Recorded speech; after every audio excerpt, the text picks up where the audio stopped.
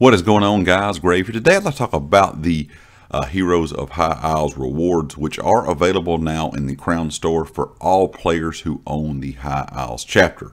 So, if you own the High Isles chapter, uh, you can claim the Heroes of High Isles rewards for free.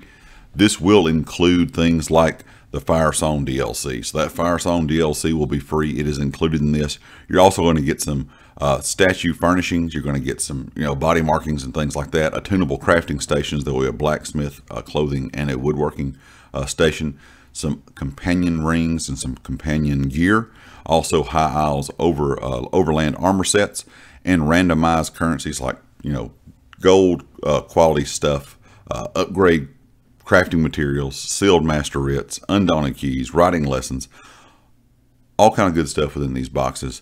Uh, so make sure that you go ahead and claim that. You have from now until October the 22nd to do so. After the 22nd, that will be gone. So if you don't claim your free reward before then, you will lose it. But like I said, this is available for everyone that owns the High Isles chapter. So if you purchase the High Isles chapter this year, go into the Crown store and you will be able to get this uh, High Isles, the Hero of High Isles reward. Like I said, it's going to have all that great stuff in it, and that Firesong DLC will be free as well. So we're going to get some really good stuff with this box. Um, the great thing about it is I opened mine up yesterday. There was a gold companion ring in it, which was really good. So that companion uh, ring and that high quality is a great thing. Um, I'm sure a lot of people will be really interested to see exactly what all they get. I'm kind of curious to see if everyone gets the exact same, you know, ring and the exact same roll. Mine was actually in Quicken, so I'm kind of curious to see what everyone's getting. So if you already opened up your boxes, leave me a comment. Let me know what you got in yours.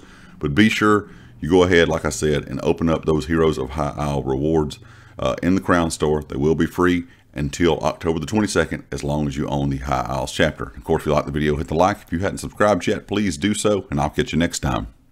Peace.